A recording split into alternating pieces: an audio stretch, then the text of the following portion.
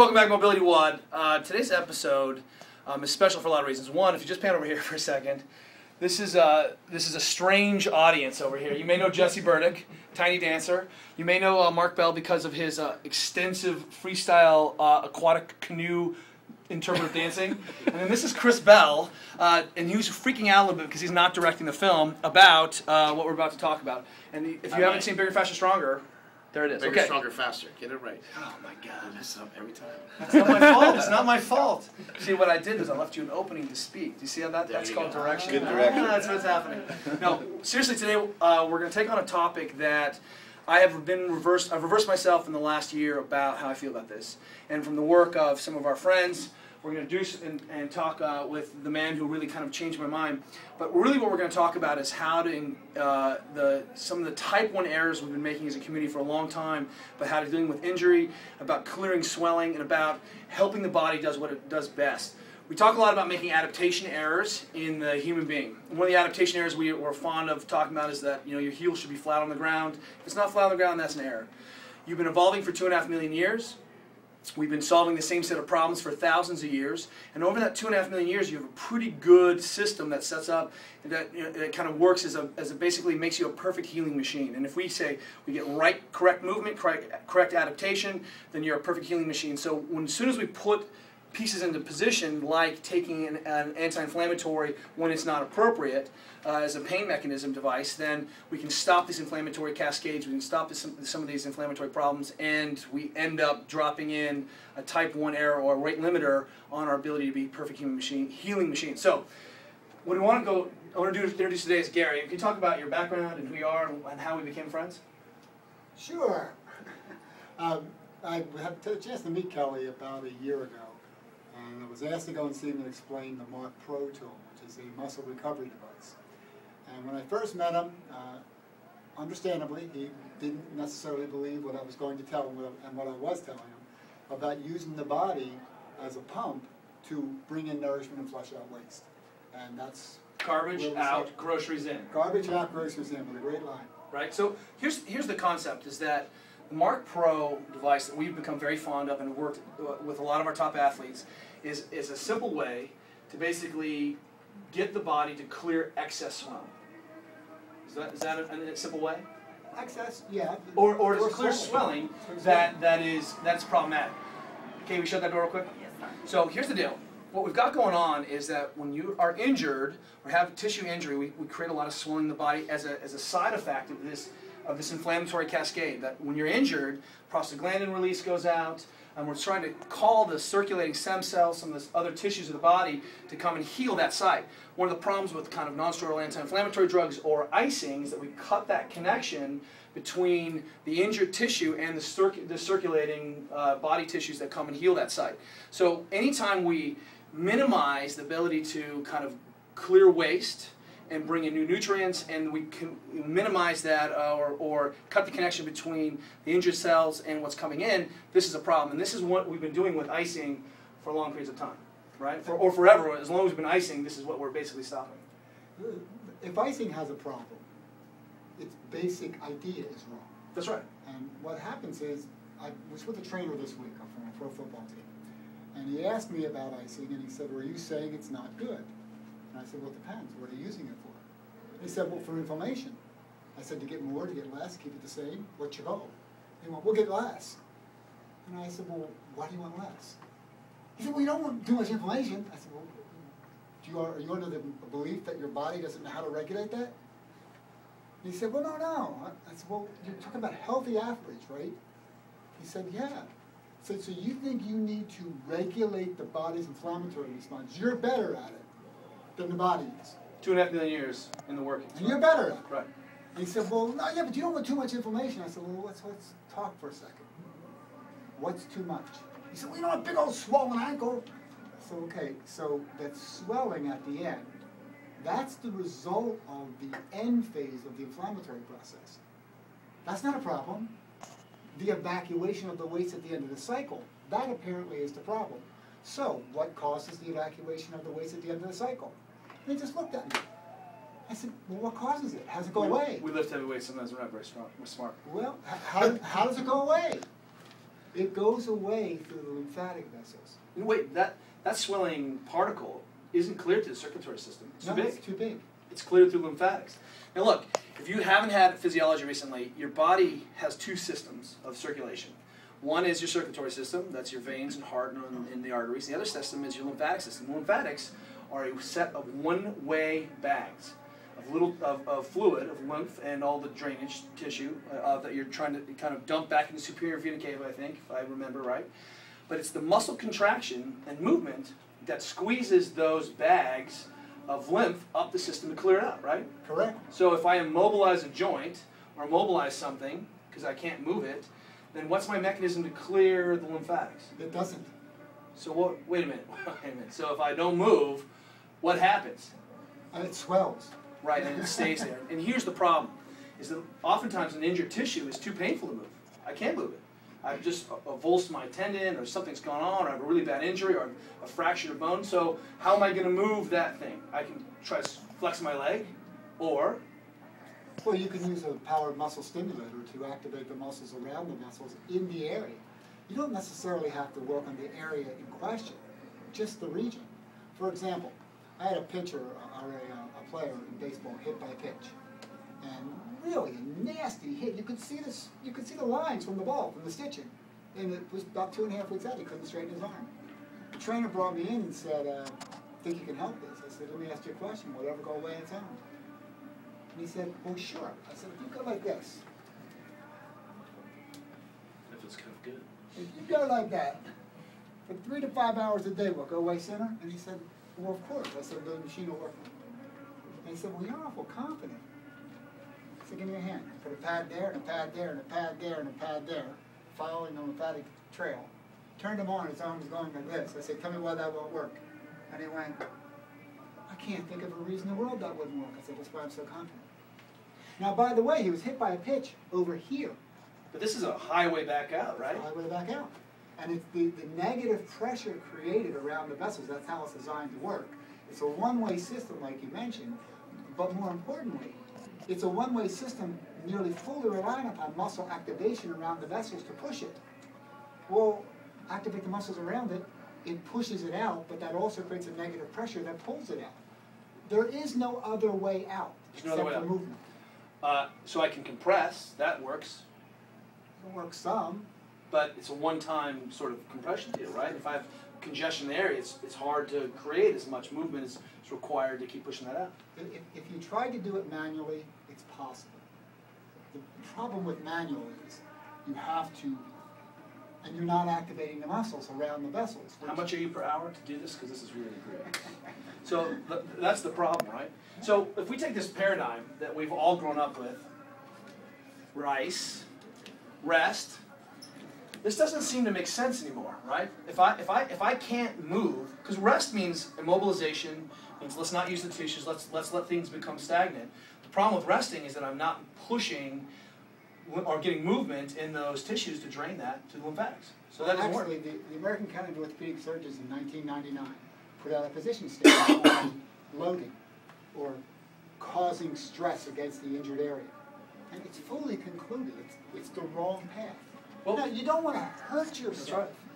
but you need to give a little bit of stress to help reorganize the repair tissue so that it becomes functional, or as one of my docs calls it, happy scar tissue. Otherwise, I end up with a scar ball.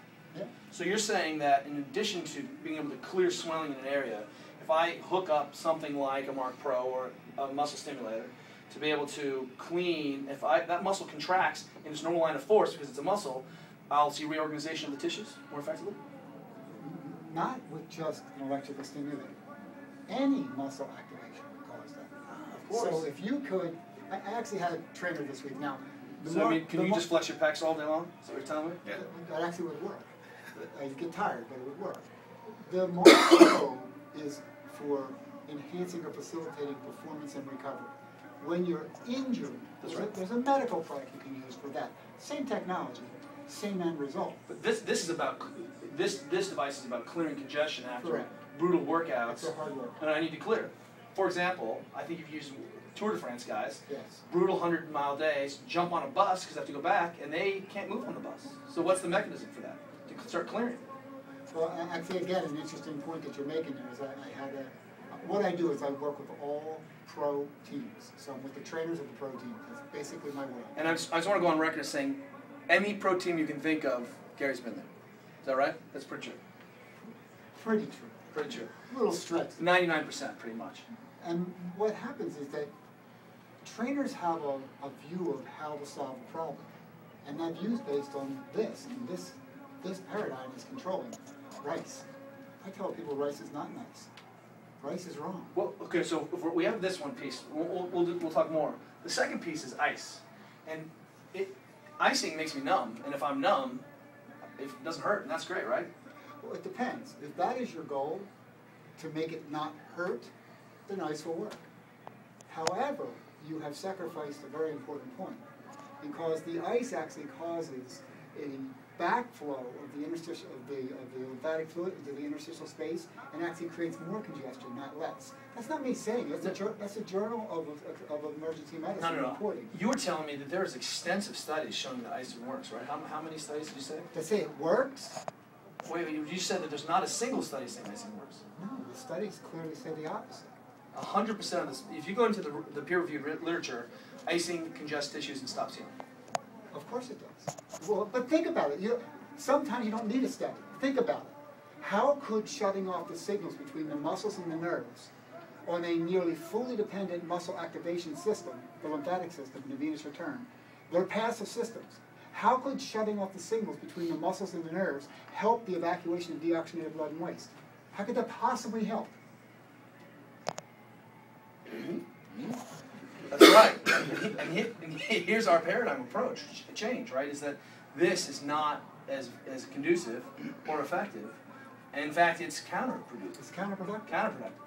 And uh, I'm trying to think, because this whole paleo movement, type 1 errors, I'm trying to think about all the, uh, all of the icing that our ancestors were doing. And they weren't doing any icing, right? No. In fact, if you look at even some of the Ayurvedic traditions and the Chinese traditions, it's all about heat and about blood flow, right? So if we're trying to reperfuse tissues or recreate circulation, then this is not the answer. Well, I, I don't know who started it or how it happened. The best I can track it back, and you can go on Google and find it yourself, but how I tracked it back was in the 60s when athletic trainers started working with athletes in the sidelines. That the only thing available was ice. It was cheap, and it did make you feel better temporarily, right. so it just became popular. But it also stops the prostaglandin release. It stops the whole process. It shuts off the signal between the muscles and the nerves. So it's ostensibly like taking an ibuprofen. No, actually, ibuprofen would be worse. Oh, good. because that actually prevents the signal of the inflammatory response, which of course is another very large mistake. If you think about it, and how I ask it is, do you seriously believe, honest, do you seriously believe that the body's natural inflammatory response is a mistake? That you actually believe that? If you don't believe it's a mistake, then that means it's right. So why are you preventing it? And in the literature, it's not even a question in the literature. Uh, in fact, if you want, you can put up on your site. I have that We will. article We'll, posted we'll put up all that. We'll put the article up and some other research. where it simply goes in the literature and says, well, what do you think about stopping the inflammatory response? The top guy in the field, this great quote is, there can be inflammation without healing, but there cannot be healing without inflammation. Bam, that just happened. This is, this is not a complicated idea. In every clinical textbook you'll find in this country, there is no exception. I've gone to at least 25 different sources. And I know there's more, and they'll all say the same thing. There are three phases to healing. The inflammatory response, the repair, and the remodel. It's not, a, it's not an optional debate. These are the three things that happen. If you skip phase one, the inflammatory response, you have prevented phase two and three from going into place. Why would you do that? Well, I don't know why they do it, but I can tell you that you shouldn't. There's a great phrase called the drag of orthodoxy. We've done it because we've always done it, right? Well, and I suspect that the pharmaceuticals have a reasonable vested interest and they keep people motivated. Wait, wait, you're saying that ISIS is big business? Is that what? I, ICE is huge business. Look, this in the last year, these guys came to me and said, "Hey, we want you to start to experiment with this. We have rehabbed post-surgery, ACLs, trauma. We get we reduce swelling in, in a matter of days and hours. Uh, we've we pulled people's knee. We don't use ice anymore. Uh, it's not part of our practice. It's not part of our recommendation. In fact, uh, I, what I recommend that would change your life? Hot Uh, tub. Yep, hot tub. I'm not going to say that. Hot you tub know, time machine. Hot tub time machine. You know, because you But put two big guys in a hot tub, it gets hot. Wow, that's true. But also, when I fell with 1,080, nearly 1,100 pounds, uh, the first thing he told me was, "Don't ice, wrap it up." And I wrapped it up and reduced the swelling immediately. And it was so simple to the point where my little girl was like, "Hey, your leg's not as swollen as it was before." Pretty easy. So if we if we look use compression, and what we expanded compression to mean muscle compression to clean out lymphatics, maybe that is the our best mechanism for this, right? Muscle activation around those passive vessels. That is the way the body was designed. It's not like we invented something. Whoever made the body No, no, was no, no. brilliant. We invented it. No, we didn't invent it. The human body is very specific in the way that it works. When you activate the muscles around your lymphatic and venous return, it pulls the deoxygenated blood in the waste out of the lower body. That's how it works. We didn't make that up. Ice sends it in the wrong direction. Anti-inflammatories block, blocks the healing process. If these were opinions, I could see someone trying to debate me. These aren't opinions. Read the drug manufacturer's warning labels. Don't do that. It actually says that. It's like leaky stuff. Don't do that. That's that's bad. It's true. You're absolutely true. I'm not pointing light. And by the way, this is not debatable. in that article that I'm referencing that you can put up that I put together with, by the way, one of the authors is the editor-in-chief of the Physician Sports Medicine Journal. Oh right, that's useful. So just a casual guy who has a view on this. A peer-reviewed study where they looked at all of the available literature, they concluded you don't want to take anti-inflammatories. It stops the healing process. Why are you doing that? Why are you putting ice on that stops the signal between the muscles and the nerves around the lymphatic and the venous return that pulls out the deoxygenated blood and waste? Why are you doing that? We should we should stop just for a second because people are going to be like, well, what about the ice bath? So what about the ice bath? if you think it feels good, it's not gonna help with your, it's not gonna help decongest the area. I know that if I drop my core temperature a little bit, it helps me sleep better. Um, it- it- We're talking about Oh, wait. evacuating the waste. That's right. It's a different conversation. What if I've just competed in a brutally hot day and my core temperature is like 103? Is an ice bath to bring my core temperature down? Would that be okay? I, I think that I would want to have a little medical supervision with that, but sure, So, oh, okay. So for that purpose. for, if I'm jumping in some cold water to start to, to bring my temperature back so I can restore homeostasis.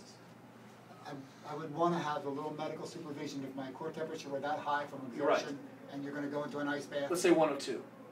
I'm good with one or two. Okay. If I, let's say that you could find an egg on my head, don't get in an ice bath at home. Don't do that, okay? But uh, but that's still a different concept than what we're talking about here. Correct. What about contrast bath? The people talk, hey, I've got this swelling. I can get cold. I get hot. I get it cold. I get it hot. What, does that work? Um, sure, when it's hot. Ah, when it, when it's hot. And here we go back around. It does not increase the circulation when it's cold. It decreases the circulation. But worse than decreasing the circulation, if that were all it was doing, that would be okay. But what's worse is it actually causes the fluid in the lymphatic vessels to backflow into the interstitials. space and actually increase the congestion, which begets congestion. The body is pretty smart how this works. When the inflammatory response goes off, it's basically to send the macrophage to the site to eat up the dead stuff. I call it the cleanup crew. The cleanup crew, the macrophage, is dragging the insulin-like growth factor, which is responsible for the cellular repair. So you definitely don't want to block the cleanup crew, the cleanup crew and the repair guys. no, and the, Don't block them from getting to the site. the good the good studies even show that when you take an anti-inflammatory, we'll see chronic instability in joints that have healed without phase one. Well, there It's you weird. go. There you go. Crew, we got a room full of smart kids. Questions to the men. Does this does this freak you out? No, not really. It I makes got, sense. I got a question. Um, if somebody like, is it possible someone's body is not good at regulating some of this? Like, Sure. you know, 10%. There's always bell I mean, you know, some people, um, you know, I did pro wrestling for years, and I've done you know other things, and uh, it seems like there's some people out there that need anti-inflammatories. There Why? seems to be because they're in pain, why and they when they pain? take them, they feel better. But, but, but big question, why are they in pain? I don't know, Well, and very- they don't know. Very often the pain is the result of the pressure from the congestion. So, sure, you can take something and make it not hurt, right, but you're still congested. Decongest the Just area masking and then tell me how you feel. right. what happens is the pressure builds up from the congestion, which then the body views as a, uh, as a signal for more inflammatory response because it's viewing the, uh, the tissue that is contaminating the area as an enemy. So your congestion begets congestion. Make that go away. Don't, don't block it. So what we're talking about is pain management for an injured tissue. How do we get an athlete, keep an athlete going without pain from the pain spasm? That's a different conversation, even a conversation worthy of working with a physician. But if we're having pain resulting from swelling and we're blocking that, then, then we're always going Right. to be in this bad loop. So let's clear the congestion. Let's clear the things. You know, when we say fix what you can fix, if the elephant in the room is swelling. You know, my rule of thumb in our clinic is if you're swollen, I can't tell what's going on. So let's clear. Let's deal with what we need to deal with first. That's dealt with compression and and movement in a, with a device like Marc Pro in some kind of way. Even you said, hey, don't have a Marc Pro and you're in a cast. Put your hand up and move your fingers. Move them. Let's do as much as you can. It's something real important about your question because it's, it, it's begging for the bigger question. And the bigger question to me is very simple. Is taking the anti-inflammatory going to decongest the area? And the answer is no. There's only one way for that waste to leave, and that's via the lymphatic vessels. The particles are too big to go back through the venules, which again, even the veins are pretty much a passive system. So without muscle activation, that deoxygenated blood and that waste can't evacuate. So taking an anti-inflammatory does what? It prevents the body's natural signal to solve the problem. It, to me, it's like there's a crash on the highway, and in your wisdom, you say, hey, every time I see fire trucks and tow trucks and ambulances, I get backed up in traffic. So there's a crash in front of you, but I'm not going to call in help. How's that work? You're not going to call in the macrophage to eat up the dead stuff, which is dragging the insulin-like growth factor, which is responsible for the repair. So the cleanup and repair crew, you're not going to pull them to the site to solve the problem. Because of why? Because there's excess buildup at the end of the inflammatory cycle. Why don't you ask instead, how do you evacuate the waste at the end of the cycle? Well, there's only one way. That's muscle activation around the lymphatic and venous return. So- So how do you activate the muscles? That's, the only question is, how do you activate the muscles, not which pill to take? So if I was, I mean, this is one of the problems actually with sitting for long periods of time is that the muscle activation in my legs drops off. Correct. I can't clear the lymphatic from even just the, the dependent limbs being down. I get pooling of those uh, fluid in my interstitial tissues, and that's one of the problems why we see DVTs and the people who don't sit or who have to sit for long periods of time. Why ankles get swollen on airplanes is that we're not moving or compressing or clearing out the lymphatics. And by the way, nothing from your point, but that's not news. We all know that. So do we take an anti-inflammatory when our feet swell on an airplane? No, we get up and walk around. I actually make fil- films about my cankles. Cankle.com. I think it's actually it's really great. The issue though is that this this is intuitive. We'll put. I know that this is counter to everything you've ever heard for the rest of your life. From the rest of your life, we're asking you to.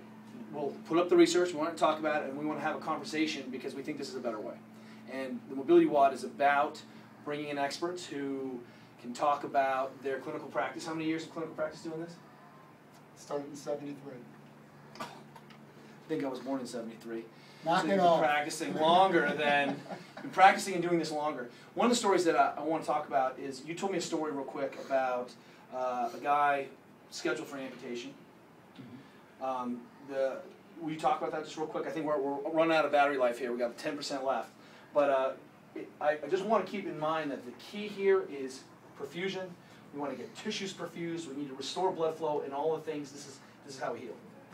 We just talked about this because this is a really powerful model that's, Now that's really this, stuck in my head. th- this involves our medical product. That's right. At that point, Okay. the person was involved in medicine, not in, in, in exercise. Okay. And uh, the doctor was at the San Diego Rehab Hospital and uh, San Diego Veterans Hospital. And what happened was they were scheduling an amputation to take his foot off.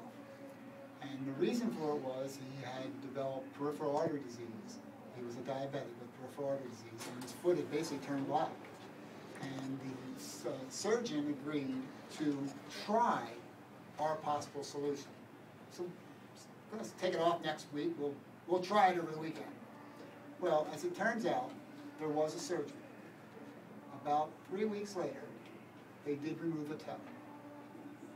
And the doc, I personally interviewed the doc.